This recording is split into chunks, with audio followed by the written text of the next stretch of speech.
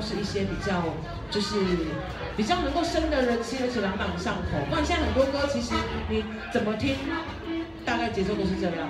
像飞雷啊跟 Closer 两个是可以的，然后飞雷跟那个让我留在你身边也是可以的，前奏都很像。对，这这这也是一种跨文化，哦，就是 EDM 的歌曲，是最近非常流行的洗脑歌。那我们就跟大家一样，经典老歌哦，这首歌叫做《低咚嘟》。